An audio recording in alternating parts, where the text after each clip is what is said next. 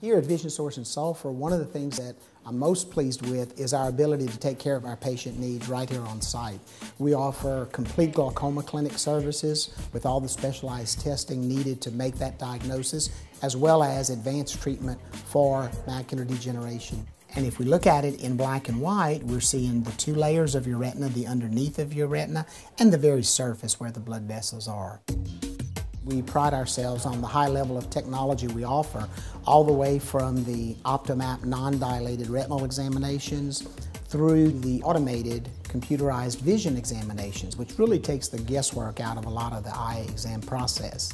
With all that technology, the thing that's most important is providing a high level of care and caring to our patients.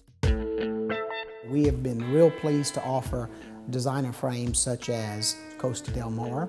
They're available with and without prescription as well as Maui Jim. In addition, we were the first to bring over to the Sulphur community the high quality sunwear.